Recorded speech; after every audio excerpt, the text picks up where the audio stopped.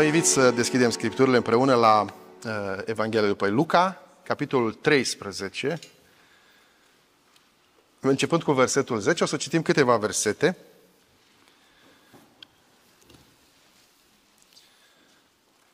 Fratele Ben a anticipat la început uh, ideea pe care o să merg și eu în dimineața aceasta. Se pare că Dumnezeu vrea să ne vorbească în direcția asta.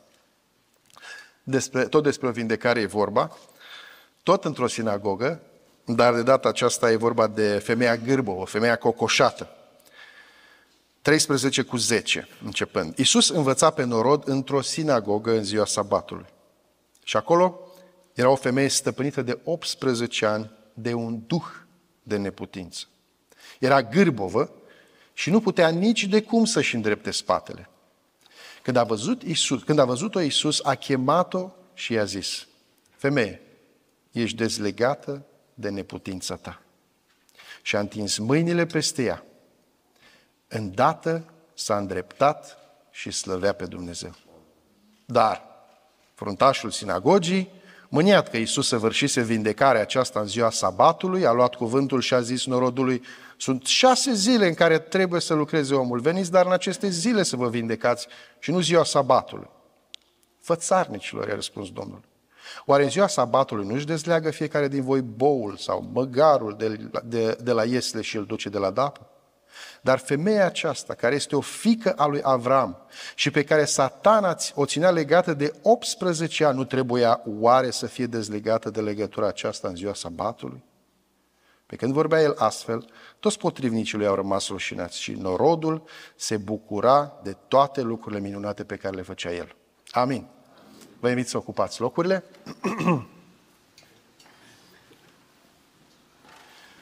Aduc salutări eh, din partea Bisericii Betania din Călăraș eh, și de asemenea din partea Bisericii Fi Diferit din Bogata, acolo unde slujesc. Eh, sunt aici din nou pentru o perioadă împreună cu fratele păstor din oraș, din Călăraș, fratele Aurel, însă ele este la o altă biserică în dimineața aceasta. Fratele poet Ionatan Piroșca, uh, cunoscut de unii dintre noastre probabil în lumea evanghelică, um, povestea la un moment dat că mergea când era copil împreună cu tatăl și cu fratele lui mai mic pe sanie, uh, o sanie din aceasta uh, trasă de cai. Undeva la țară, era iarnă, era viscol, ningea foarte tare și mergeau, nu știu unde mergeau, dar la un moment dat zice că într-o curbă Uh, pe care a luat-o Sania, uh, el a căzut din sanie. Și din păcate tatăl n-a auzit când s-a întâmplat asta, tocmai din cauza vântului și a, a viscolului. Uh, și copilul, fratele Ionatan, a început să strige, tati, tati. A început să plângă, nu se auzea, Sania tot se îndepărta, tatăl n-auzea, a mai strigat mai tare, tati, tati. Și la un moment dat se oprește Sania, tatăl se uită înapoi și din fericire îl vede acolo pe băiețel căzut și se întoarce și uh, îl readuce în sanie. Uh, și după ce și-a mai tras un pic sufletul, copilul îl întreabă pe tati, tati, nu așa că mi-a auzit strigătul? El zice, nu, n-am auzit strigătul. Păi zice, dar de unde știi, de unde știi că am căzut din sanie? Păi zice, frățiorul tău mai mic de aici, din spate, mi-a spus. Și atunci întreabă și pe fel, dar tu mi-ai auzit strigătul? Ai auzit când am strigat? Zice, n-am auzit dar am simțit rece la spate. Um, întâmplarea asta ne învață o lecție atât de frumoasă a ceea ce înseamnă valoarea fratelui, valoarea celuilalt pentru noi. Și cât de important este ca să avem pe cineva care să ne țină card la spate. să avem pe cineva care să ne țină spatele da? și să ne poarte poate atunci când avem nevoie și Uh, cât de multe lucruri pierdem atunci când nu avem pe cineva care să ne țină spatele. Imediat simțim răceala. Uh, și de ce v-am povestit, de ce am început cu această poveste? Uh, pentru că sunteți pentru noi o biserică uh, pe care o simțim la spatele nostru, care simțim că ne susține și uh, sunt deja câțiva ani buni de, uh, de când uh, am început uh, colaborarea noastră și mă bucur că în acest an trecem la un alt nivel al relațiilor noastre, a legăturilor noastre. Uh, suntem foarte fericiți că ne-ați pus pe harta dumneavoastră uh, legat de vizita uh, grupului care va veni. Onorați, de asemenea, suntem și bucuroși și credem că um, ne vom simți bine împreună acolo cu tinerii dumneavoastră de aici la biserică. Am văzut că sunteți extrem de talentați în ale muzicii și uh, sunteți uh, tineri care aveți ce să dați mai departe și cu siguranță copiii de acolo, de la noi, din sat uh, și din satele unde noi slujim, o să se bucure, abia așteaptă, deja le-am spus că o să veniți și abia așteaptă să vă cunoască și să petreacă timp cu voi. Domnul Iisus să vă binecuvânteze. Uh, dacă îmi dați voie să împărtășesc câteva gânduri în acest pasaj pe care l-am citit, uh, mă gândesc că este un pasaj extrem de util pentru fiecare dintre noi. Uh, și de ce spun asta? Pentru că toți trecem la un moment dat prin perioade de văi, perioade de cădere. Nu mă refer la perioade de văi legate de încercare, ci legate de anumite momente de slăbiciune din viața noastră, perioade de cădere, să le numim, sau de ațipire spirituală. Pentru că, din păcate, și asta nu e vina lui Dumnezeu, e vina noastră, da? Din păcate, nu stăm îndeajuns de aproape de Dumnezeu încât să uh, înaintăm permanent, fără suișuri, fără coborâșuri, fără fluctuații de genul acesta, din diverse motive, la un moment dat, pierdem din focul acela pe care Dumnezeu l-a pus în inima noastră, din dragostea pasională, dragostea din tâi, cum o numim noi și pe care ne dorim să nu o pierdem niciodată, ci din potrivă să o întețim, să o amplificăm tot mai mult. Ne mulțumim cu puțin, ajungem să avem poate mai multe coborâșuri decât suișuri la un moment dat în viața noastră. Și de aici nu mai durează mult până când uh, suntem încătușați în tot felul de lanțuri, copleșiți de tot felul de poveri, gârboviți sub povara acestor greutăți sau sub povara acestor uh, căderi, să le numim așa. Însă, astăzi cuvântul ne provoacă uh, și ne spune, și acesta de fapt este titlul mesajului din dimineața aceasta, este timpul să te ridici. Sau este timpul să te îndrepți de spate. E timpul să ne ridicăm în chemarea, la nivelul, la potențialul pe care Dumnezeu l-a pus în noi, chiar dacă ne aflăm într-o perioadă grea într-o, sau trecem prin perioade de fluctuații, de căderi, de văi, Dumnezeu are pentru noi o încurajare în dimineața aceasta. Sunt aici să te ridic. Indiferent prin ce treci, indiferent cum te vezi, indiferent cum te simți. Femeia Gârbo vă spune Scriptura că trăise 18 ani sub această povara ei. Deja își făcea majoratul. Majoratul cocoașei. 18 ani. Să trăiești sub această povară. Dar Biblia spune că Domnul a trecut pe acolo. Și i-a oferit șansa unei schimbări. Așa cum trece pe aici în dimineața asta și nu doar în dimineața asta, de fiecare dată când noi ne întâlnim. Trece de la inimă la inimă și este gata să întindă mâna și să spună, sunt aici să te ridic. Sunt aici, sunt alături de tine, nu doar când ești uh, extraordinar de entuziasmat și de fericit și de pe val, dar sunt aici mai ales când treci prin voi. Când suntem mai aproape de copiii noștri? Când uh, sunt fericiți și le merge bine? Sau când îi vedem triști și împovărați și cu probleme?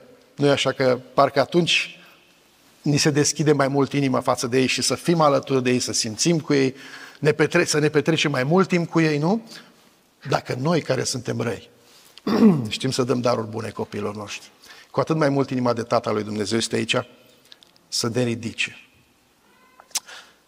Pentru că există duhuri care ne fac neputincioși. Așa spune aici în versetul 11. Spune că nu era vorba de o simplă boală pe care femeia o avea și cu care se lupta, nu? ci de o stăpânire, ce că era stăpânită de un duh de neputință. Sunt duhuri care cu asta se ocupă. Nu uh, fac, facem spume la gură, nu facem, uh, nu știu, ne manifestăm într-un mod uh, așa foarte violent, uh, dar diavolul are și duhurile lui care, prin care atacă creștini. Și asta de obicei acționează foarte parșiv, foarte pervers, foarte șiret, foarte tăcut, pe ascuns și cu multă răbdare. Astfel încât să ne prindă la un moment dat când nu suntem atenți, într-un moment de slăbiciune și să ne lege și să ne împovăreze și povara asta să crească și să o purtăm poate ani și ani și ani de zile și ne gândim cum să scăpăm de ea. Și Cuvântul Dumnezeu ne învață în dimineața asta că este posibil. Se poate să trăim fără poveri. Sau să descărcăm poverile, mai bine zis. Că poverile le avem, trăim la un moment dat sub, uh, sub uh, greutatea lor. Dar cum putem să scăpăm de ele? Uh, pentru că neputința, când ajunge să pună stăpânire pe cineva, e greu să scăpăm de ea. Interesant că în dicționarul limbii române, definiția neputinței, ia, ia ascultați, faptul de a nu avea forță, pos, forța, posibilitatea, capacitatea, libertatea de a realiza ceva, de a acționa. Foarte interesant că și dicționarul limbii române surprinde acest, acest um, atac extraordinar al neputinței, care se manifestă nu doar prin uh, uh, a nu vrea să faci ceva, ci chiar a nu putea să faci ceva la un moment dat. Și bineînțeles, ca să putem să identificăm în viața noastră astfel de momente în care trăim în această neputință, trebuie să vedem niște simptome, nu? Să identificăm simptomele, poate chiar consecințele, ca apoi să dăm și un tratament, nu? Așa fac doctorii. Uh, să găsim niște soluții.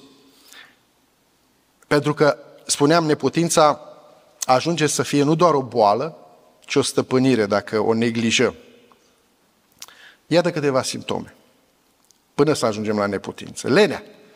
Neputința începe, spuneam, prin pași mici. Proverbele sunt pline de versete care avertizează pe copilul lui Dumnezeu, aveți grijă la lene, da? la comoditate. Proverbe, de exemplu, 19 cu 5 zice, lenea te cufundă într-un somn adânc. Dar până la somnul adânc începe cu ațipirile astea de care spuneam. Azi mi-e lene să citesc Biblia. Uh, sau uh, sunt prea obosit să mă rog, uh, n-am chef mai degrabă, nu? Nu spunem mielene. Evităm că știm că e păcat, asta e greșit. Dar folosim expresia asta, n-am chef. N-am chef să merg la biserică, n-am chef să mă rog, n-am chef să slujesc și lipsa asta de chef se transformă într-o stăpânire dacă noi îi dăm curs, nu? Diavolul atacă sentimentele noastre prin această lipsă de chef și apoi dacă noi o acceptăm, ea pune stăpânire și se transformă până la urmă într-o povară, într-o neputință. De aceea noi trebuie să nu acceptăm aceste sentimente. Confortul, comoditatea. E cam soră cu lenea, dar altceva vreau să surprind aici. De fapt, confortul este boala postmodernismului în care noi trăim, societății în care noi trăim și pe care toate companiile, prin toate reclamele, încearcă să îl promoveze acest confort, să facem cât mai puțin, cu minim efort, cu cât mai puțin mușchi încordați sau să folosim cât mai puțin mușchi, să nu transpirăm, să nu ne doară ceva, cumva. Avem aspiratoare care aspiră singure, avem mașini de spălat care nu mai uh, trebuie să lucrăm și de spălat vase și de spălat rufe. Nu, avem mașini care acum le chemăm printr-o comandă pe telefon sau vin la scară și ne așteaptă, apropo de asta, un frate bătrân de la noi care a fost și el prin America la un moment dat, uh, îi certa pe frații din America. Deci, fraților, voi aveți mașini la scară, vă iau de la scară, vă aduc la biserică, vă întorc acasă și tot nu veniți la biserică. Și uh, eu am o soră bătrână la biserică la noi, la țară, era de undeva de la țară, din județul nostru, uh, zice, kilometri întregi vine pe jos în fiecare duminică la biserică și nu lipsește niciodată și e și prima. În ziua judecății, românii din România se vor ridica și vor judeca pe românii din America. Dar o frate din biserică zice, Aleluia!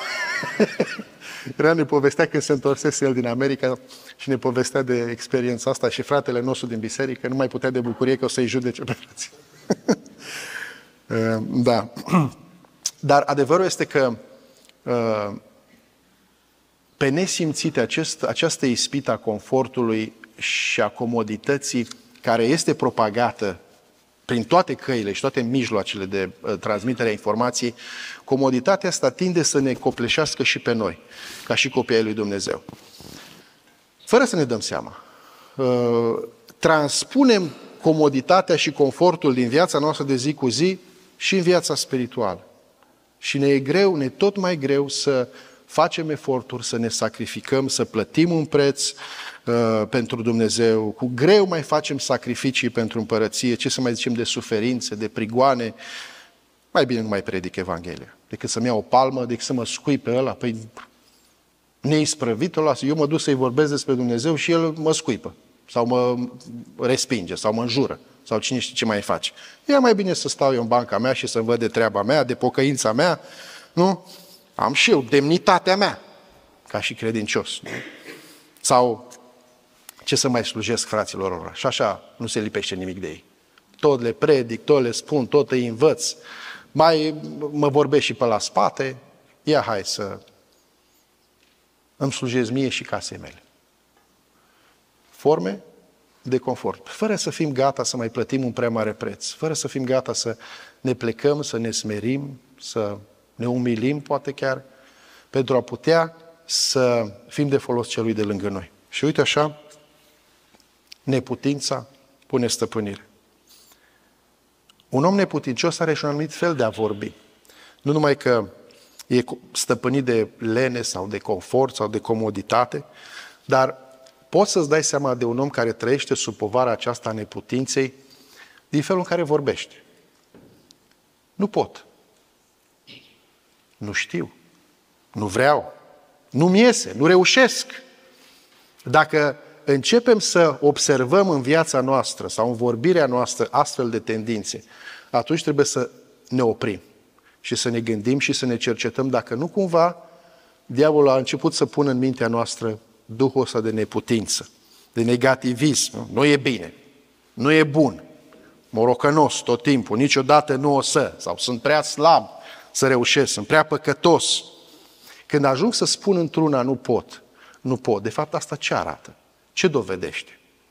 Nu cumva necredință? Când spun nu pot? Sau o credință orientată greșit, în sensul că mă bazez pe ce pot eu și nu pe ce poate face Dumnezeu în viața mea și prin viața mea? Și atunci ajung să fiu înrobit de această neputință. Am vorbit despre câteva simptome, dar sunt și consecințe în viața noastră atunci când suntem, ajungem să fim înrobiți de această neputință. Și textul nostru ne vorbește despre o consecință extrem de gravă. Neputința duce la gârboveală, la o împovărare care ne sluțește duhovnicește. Pentru că atunci când trăim împovărați din punct de vedere spiritual, nimeni nu mai, poate, nu mai beneficiază, numai că eu trăiesc într-o stare de permanență apăsare și depresie și amărăciune. Dar nimeni nu mai beneficiază de pe urma mea nu mai sunt bun să, folo- să mă folosească Dumnezeu. Familia mea are de suferit, biserica are de suferit, împărăția lui Dumnezeu și Dumnezeu până la urmă are de suferit, nu? Uh, așa ne spune întâmplarea noastră. Când ajungi să spui într-una nu pot, când trăiești mereu în neputința asta, ajungi să trăiești sub o robie. Și ajungem să trăim, să fim într-o stare în care orice ni s-ar cere, nu mai putem. Nu mai putem să facem.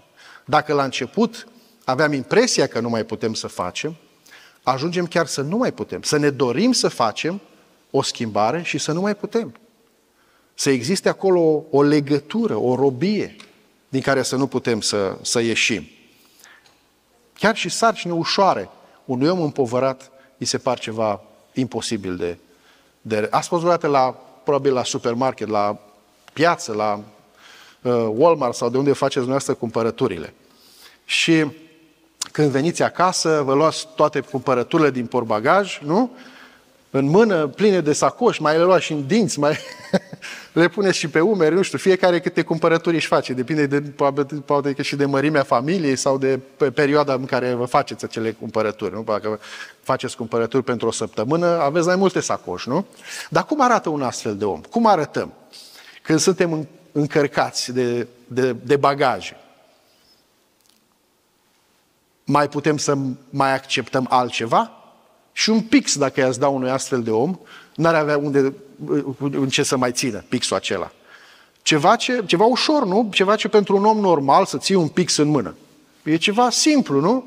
Nu e ceva greu. Dar un om care este împovărat deja și încărcat în toate mâinile, în toți dinții, în toate picioarele, pe toți umerii, are bagaje. Dacă îi mai dai încă ceva, automat omul ăla va zice, nu pot. Oricât aș încerca, nu pot să mai iau ceva pe umerii mei. La fel din punct de vedere spiritual. Când trăim în această împovărare, nu? Când umerii noștri sunt plini de poverile care poate n-ar trebui să le purtăm noi și care trebuie să le descărcăm. Pentru că ăsta este soluția, până la urmă. Ce să fac? Ce faci unui astfel de om? Ca să poată să accepte poverile care trebuie. Să le descarce pe alea care nu trebuie să le poarte, nu? N-am cum altfel să mai acumulez, să mai iau altceva pe umerii mei. Trebuie să dau la o parte poverile care nu trebuie să le port, ca să le accept pe alea care Dumnezeu mi le încredințează. Și Dumnezeu să ne ajute la aceasta. um, ai putea, te rog, să treci pe la fratele sau pe la sora să vezi ce face, că n-am mai venit la biserică de mult. Nu pot. N-am timp. Sau poate să treci pe la biserică, să ne ajuți un pic la curățenie sau la VBS sau... nu pot. Nu pot. Sau poate, nu știu, cineva e în spital, nu poate să-și facă treaba. Ține un pic locul. Nu pot. De ce? Am poverile mele. Nu mai pot să iau și altele. Nu cumva sunt poveri care trebuie să le las jos? Ca să pot să spun da și ce, ce, ce, la ceea ce Dumnezeu vrea să fac? Domnul să ne ajute la aceasta. Lucruri simple, care să, pentru un creștin împovărat, devin poveri mai mari. Mai e un verdict dur în urma posedării neputinței. Pe lângă faptul că aduce gârboveală, cocoșeală în viața noastră. Uh, uităm toate promisiunile lui Dumnezeu. Atunci când trăim în neputință și în gârboveala aceasta spirituală, uităm ce Dumnezeu ne promite. Sau poate nu uităm neapărat, dar chiar dacă ni le aducem aminte, nu mai au efect asupra noastră, nu mai au impact în viața noastră. A, știi că Dumnezeu este alături de tine în situația asta. Știu, dar nu o simt. Dumnezeu are o soluție pentru problema ta. Dumnezeu e gata să te vindece. Știu, da? Poate pe alții. Probabil că ați auzit, nu? Sau poate chiar noi am trecut prin astfel de momente, nu? Cunosc o soră la noi în biserică care de ani de zile uh, trăiește cu anumite neputințe trupești, anumite boli. Și s-a rugat Domnului, și s-a rugat, și Dumnezeu n-a intervenit în situație, sau cel puțin nu cum și-a, s-a așteptat ea. Uh, și a intrat într-o astfel de stare de care vă povesteam acum. Uh, da, știu că Dumnezeu poate, știu că Dumnezeu vindecă, știu că Dumnezeu mă iubește, dar nu văd în viața mea asta. Și atunci când uh, alunecăm în astfel de stări, de situații, uh, oricât de multe promisiuni ar face Dumnezeu, parcă nimic nu ne mai atinge. Dar interesant că femeia din întâmplarea noastră zice că deși era împovărată de ani și ani de zile, n-a renunțat să caute o soluție la problema ei. De unde știm asta? Unde era ea? În sinagogă. Era în sinagogă. De ce era în sinagogă? Ce găsea acolo ea? Știa că e Dumnezeu acolo. Indiferent de cât de împovărată era, de cât de mulți ani purta această cocoașă pe umerii ei, avea totuși o speranță, nu? O speranță că poate într-o zi Dumnezeu va trece și pe strada ei. Și speranța asta nu i-a murit. Și a, de fapt, până la urmă, a făcut-o să alerge la Domnul Isus pentru, uh, pentru vindecare, nu? Când a auzit că trece prin cetatea sa. Uităm promisiunea lui Dumnezeu. Dar, de asemenea, când neputința ne posedă, nu ne mai îndeplineam, spuneam mai devreme, menirea pentru care Dumnezeu ne-a chemat să o îndeplinim. Privez pe cei din jur și pe Dumnezeu de darurile care Dumnezeu le-a pus în viața mea, de potențialul care Dumnezeu l-a pus în viața mea, de chemarea pe care o am. toate acestea se estompează, se, se, se acoperă, sunt acoperite de poverile care n-ar trebui să le purtăm. Și în loc să-mi îndeplinesc această chemare, stau așa într-o stare de lâncezeală și zac în starea mea, fără ca să pot să fiu o binecuvântare pentru cel, cei din jurul nostru. Dar spuneam că există și soluții. Că cu asta trebuie să încheiem, nu? Cu happy enduri, pentru că asta e cuvântul Dumnezeu. Veste bună. Tot timpul există o veste bună la toate problemele și la toate poverile noastre. Deși sunt simptome, deși sunt consecințe, ce bine este că avem un Dumnezeu care are soluții.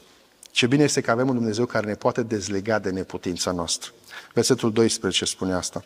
Pentru că Dumnezeu nu-și dorește să purtăm poveri care nu trebuie să le purtăm. Zice să aruncăm asupra Lui poverile astea ale noastre, nu? De ce? De ce? Ca mintea noastră și inima noastră să fie protejate, așa spune acolo. Ca pacea lui Hristos care întrece orice pricepere să vă păzească. Ce? Mintea, gândurile și inima. O pace care întrece orice pricepere. Ce diferență? Ce oferă Dumnezeu și ce oferă diavolul prin poverile care le pune pe umerii noștri? O pace care nu poți să ți-o imaginezi, nu poți să o descrii. Și pacea asta este gata Dumnezeu să o toarne și peste inimile noastre în dimineața asta. Peste inimile noastre care trăiesc poate în împovărare și în gârboveală. Femeia asta vedem că vroia, dar nu mai putea să fie liberată decât printr-o intervenție supranaturală a lui Dumnezeu. Și ea zice că îl caută în sinagogă, acolo cum știa ea, ca evreică, îl căuta pe Dumnezeu, avea speranță, încă nu se transformase în credință, s-a transformat în momentul când s-a întâlnit cu Isus. Da? Dar trăia cu așteptarea asta că poate într-o zi uh, Dumnezeu se va atinge de ea. Era, în, cum să zic, în postura, în poziția potrivită ca Dumnezeu să intervină în viața ei. Pentru că atunci când noi trăim în împovărare, de multe ori fugim de astfel de momente și de uh, uh, oportunități uh, astfel încât Dumnezeu să poată să intervină în viața noastră. Tendința este să ne retragem, să ne izolăm, să ne lingem rănile, uh, să nu mai uh, uh, mergem la nicio întâlnire, la nicio părtășie, că oricum Dumnezeu nu ne ascultă, când ne-am rugat, 18 ani m-am rugat ca Dumnezeu să ia povara asta, cu coașa asta și tot nu m-a ascultat Dumnezeu. Ce să mai caut la sinagogă? Ar fi putut spune femeia asta. Dar a perseverat în căutarea ei până când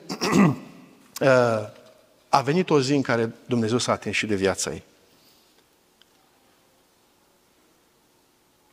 Ce important este să nu ratăm șansele pe care Dumnezeu ni le dă, oportunitățile pe care Dumnezeu ni le oferă. Um, pentru că Dumnezeu și pentru noi are pregătite astfel de momente de întâlnire cu El în care El să poată să ne atingă viețile. Să nu disprețuim astfel de momente. Să nu ne gândim ce rost mai are să mai merg la biserică, ce rost mai are să mai merg și la rugăciune seara asta, că oricum degeaba merg, nu? Sau la programul ăsta, ce rost mai are să mă implic în lucrare, oricum nu cred că Domnul mai poate face ceva cu viața mea sau mă poate vindeca sau mă poate elibera. Dar până la urmă, chiar dacă nu mai crezi, unde poți să te duci în altă parte și să-ți fie mai bine? Decât acolo unde este prezența lui Dumnezeu. Când uh, ucenicii l-au părăsit pe Domnul Isus, Domnul Isus i-a întrebat pe cei 12, dar voi nu vă duceți? Ce răspunde Petru? Unde să ne ducem, Doamne? Doar la tine am găsit cuvintele vieții veșnice, nu? La tine este soluția pentru problema noastră, pentru problema mea. Unde aș putea să mă duc în altă parte și să găsesc soluție la gârboveala mea, la povara mea pe care o port de atâta timp? Mai bine chiar dacă nu simt nimic, chiar dacă trec prin ce trec, chiar dacă sunt în starea în care sunt, dar mai bine mă duc acolo unde pot și știu că este prezent Dumnezeu. Poate, poate să o atinge Domnul și de mine seara asta, nu? Ce bine este să avem o astfel de atitudine, să luptăm, indiferent în ce stare am trece. Uh, slăbănogul de 38 de ani. Eu nu știu cum omul ăsta a putut să aștepte 38 de ani fără să intre în, fără să-și ia viața, fără să dispere, fără să, să rămâi acolo pe marginea unei piscine, da? unei scăldători, cu speranța că poate într-o zi vei reuși și tu să ajungi primul la, la, în apă acolo, când se tulbură apa și să poți să fii vindecat. Astăzi a luat-o altul înaintea ta, mâine altul și poi mâine altul și ani și ani de zile, tot altcineva era vindecat, numai tu nu ești vindecat. 38 de ani. Am mai putea să avem speranță și credință într-o astfel de circunstanță? Mă duc și las și scăldătoare și tot, nu mai îmi trebuie. Dar omul ăsta a rămas acolo și a zis, până când Dumnezeu nu va, nu va atinge și de mine, nu voi pleca de aici. Atinea lui, lui Iacov, nu? Până nu mă vei binecuvânta, Doamne, nu. Și Domnul Iisus trece după 38 de ani. Nici nu era născut Domnul Iisus când omul ăsta uh, a primit boala aceasta, aceea, neputința aceea. 38 de ani. Și Domnul Iisus a trecut pe acolo la un moment dat și vine și îl întreabă, vrei să fii vindecat? Nici n-aș fi să răspundă. Pentru că nu s-a aștepta. Doamne, aș vrea, dar n-are cine să mă arunce și pe mine în apă. Stai pe aici prin preajmă, când se tulbură apa, împinge-mă și pe mine. Dar Domnul Iisus a zis, ce trebuie apă? Eu sunt cel care te pot atinge și te pot vindeca. Și din dată omul ăla, pentru că a fost, s-a, a rămas în poziția, în postura, în situația aceea, în circumstanța potrivită și n-a renunțat, după 38 de ani, a putut să primească răspuns. Nici măcar Avram n-a, n-a trebuit să aștepte atât. Ăsta a așteptat vreo 25, nu? Până când s-a împlinit promisiunea. Și nici atunci n-a avut răbdare. Că a, a, a, l-a făcut pe Ismael, nu? Ăsta 38 de ani, omul ăsta. 38 de ani a așteptat răspuns la rugăciune. Femeia asta 18 ani. Dar Dumnezeu, cu siguranță, să nu ne pierdem nădejdea. Pentru că dacă rămânem în postura și în poziția potrivită, El va aduce într-o zi soluția. Și Dumnezeu să ne dea și răbdarea necesară, dar și atitudinea potrivită. și când Domnul Isus a trecut prin locul acela, credința femeii s-a activat. Pentru că, cum o numește Domnul Isus? Această fică a lui Avram, tatăl credinței, nu? Femeia asta a primit o credință deosebită. În momentul în care a întâlnit privirea Domnului Isus, în momentul în care l-a văzut, a zis, ăsta e momentul, trebuie să mă apuc. E momentul meu acum. În dimineața aceasta, oricât de mare ai simțit că este povara pe umerii dumitale, este momentul ca să apuci îndurarea lui Dumnezeu și vindecarea Lui. Pentru că El este aici să ridice aceste poveri, să ne elibereze, oricât de a, a, a, puternic ar fi această apăsare. Și asta este, de fapt, uh, uh, mesajul de speranță al Domnului Isus pentru noi. El ne vizitează și astăzi, pentru că este timpul să ne ridicăm. Să fim eliberați de gârboveala noastră și odată cu gârboveala să fim eliberați de neputința noastră. Ca să fim din nou gata de muncă. Ca să fim din nou gata pentru lucruri mari pentru Dumnezeu. Slăvit să fie Domnul, că El are lucrări mari cu noi și să ne ajute să fim gata pentru asta. Um, lucrări mari Dumnezeu Uh, credem că va face și în zona noastră, de sud, a României. A început să le facă, dar ne bucurăm atât de mult privind la copilașii pe care uh, El ne-a încredințat acolo. Uh, ne bucurăm atât de mult când vedem uh, progrese în viața lor. Uh, așa cum vă spuneam și dățile trecute, în Bogata uh, avem un loc, o biserică, Uh, pe care Dumnezeu, sau în care Dumnezeu ne-a spus că trebuie să, uh, pe care Dumnezeu ne-a spus să o folosim, să o putem folosi pentru a sluji comunitatea. Uh, este un vis pe care ni l-a dat, un vis care El a făcut să fie realitate, pentru a investi în copilașii noștri de acolo, din zona noastră și a ridica o generație frumoasă, o, o generație care să trăiască fără poveri, fără poverile păcatului, o generație care nu trăiește în gârboveală, ci o generație care își împlinește destinul și pentru asta ne dorim să luptăm și luptăm acolo de vreo 2 ani și ceva de când am început activitățile.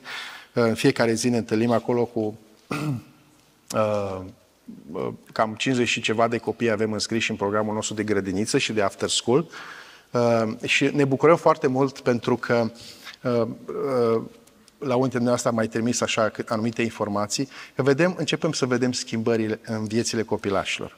Și asta ne încurajează să putem merge înainte, mai ales că este o zonă în care uh, uh, se confruntă cu foarte multe probleme familiale, uh, foarte multe familii destrămate, foarte multe familii care uh, și-au părăsit copiii plecând afară pentru a munci uh, sau, eu știu, pur și simplu se despart și copiii au de suferit foarte mult din cauza asta, numai pe plan educațional, ci în primul rând spiritual și emoțional și relațional și social. Uh, și lucrând cu ei acolo în fiecare zi, observăm aceste probleme cu care ei se confruntă. Uh, de exemplu, avem un copil care um, e cel mai rău din sat. E doar clasa a doua, sau a întâia, nu mai știu, a întâia sau a doua, uh, dar e copilul problemă. Uh, când merge la școală, directorii, profesorii sau învățătorii se plâng de el, că e bătăuș, că nu ascultă și mai departe. Uh, când vine la centru la noi, la fel, numai probleme ne face, nu ascultă, uh, tot trebuie să-l trimit acasă într-una, că nu ne înțelegem cu el și nu putem să ne ocupăm de ceilalți copii. Dar chiar și în viața unor astfel de copii începem să vedem schimbare. Și chiar acum de curând, l-am găsit pe sub mese, pe acolo, pe la noi, că el, noi, noi copii eram la masă, el era în altă cameră pe sub mese, pe, alt, pe sub alte mese.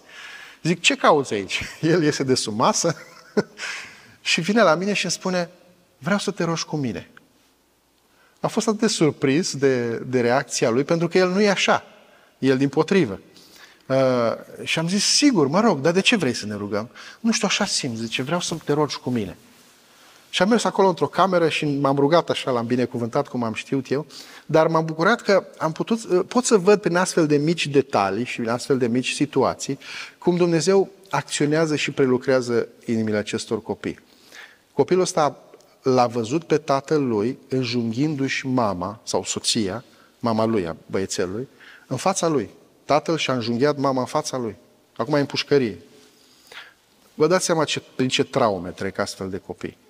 Și cu atât mai mult te bucuri atunci când vezi că o scânteie începe să se aprindă acolo în inimile unor astfel de copilași. Și acum i-am zis, nu vreau să te mai trimit acasă, tocmai pentru că mă gândeam că uh, uh, toți îl resping, uh, toți îl dau la o parte, nimeni nu uh, îi oferă o șansă. Și am zis, dacă și din partea noastră vede aceleași lucruri, uh, hai să adoptăm altă metodă. Am zis, dacă te mai prind că nu mă asculți și faci trăznăi sau te bați cu copii sau vorbești urât, te pedepsesc cu rugăciune. am zis, te iau în cameră și am, avem acolo o sală, o cameră. Am zis, când nu ești cu minte, te bag aici și mă rog pentru tine. și am făcut de câteva ore asta. Am zis, Marinică, vin aici. El se gândea cine știe ce fac. Treci la rugăciune. și uh, ce mă bucur este că îi place.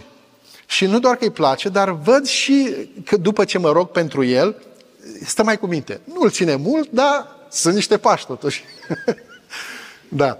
Și, uh, bine, sunt multe experiențe de genul acesta, dar ce vreau să vă spun este că Dumnezeu lucrează în inimile acestor copii și asta ne dă oferă satisfacție și motivație să mergem înainte în proiectul nostru și abia așteptăm să veniți și să ne cunoașteți mai îndeaproape uh, uh, și să putem să facem ceva mai mult pentru copiii aceștia minunați. Um, am, și, am pregătit și un scurt video, o să mai povestesc așa un, vă mai, pe el. Doar două minute și ceva durează, nu durează mult. Să mai vedeți un pic ce se mai întâmplă pe la noi, pe la uh, Bogata. Uh, dar uh, vreau să închei uh, mulțumindu-vă încă o dată pentru inima dumneavoastră largă, care faceți să uh, rămână cald spatele nostru. Ne țineți în, pe, pe mâinile dumneavoastră și prin rugăciuni și prin uh, suport financiar și acum, iată, prin vizitele acestea misionare și Dumnezeu să vă răsplătească pentru toate acestea. Uh, e și sunet, da? La societății care... Poate să meargă de la început un pic? Transformatoare de Dumnezeu.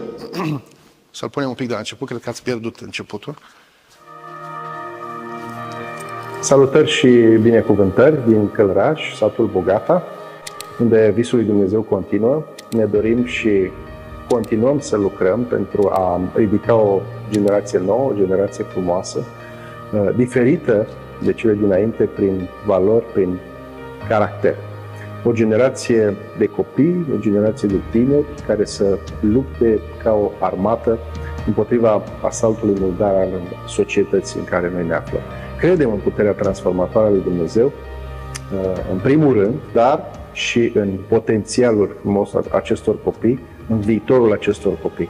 Uh, prin grija pe care le arătăm în fiecare zi, prin sprijinul educativ, prin zâmbete, prin îmbrățișări, prin cuvinte frumoase, uh, prin jocuri, prin creativitate, dar mai ales prin prezentarea Evangheliei uh, pe înțelesul lor, îi ajutăm să își intre în destin și să-și intre în chemare și să-și poată influența în bine familiile lor, colegilor la școală, prietenilor.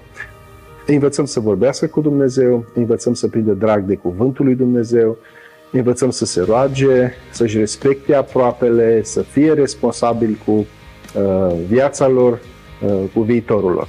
Și dacă vom crede, împreună vom putea să facem o mai mare diferență în comunitatea aceasta unde Dumnezeu ne-a așezat. Uh, și, bineînțeles, și vom primi împreună o răsplată mai mare. De aceea, rugăciunile dumneavoastră, contribuțiile dumneavoastră financiare sau poate vizitele misionare uh, pe care uh, le faceți vor aduce mai aproape de Dumnezeu o inimă de copil.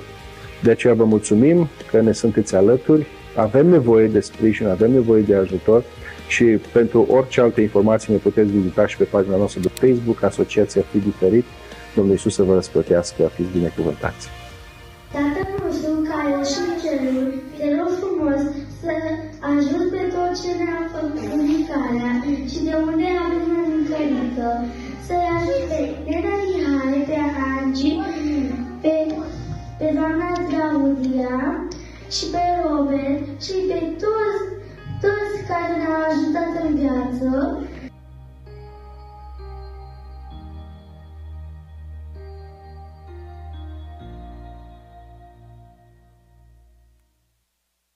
Și bineînțeles, așa cum vă mai, v-am mai obișnuit, vă lăsăm și câteva, așa un mic suvenir cu câteva imagini legate de activitățile noastre de la centru și cu un scurt mesaj, care este foarte adevărat și pe care îl experimentăm. Împreună vom realiza mai mult. Mulțumim Domnului Iisus să vă binecuvânteze.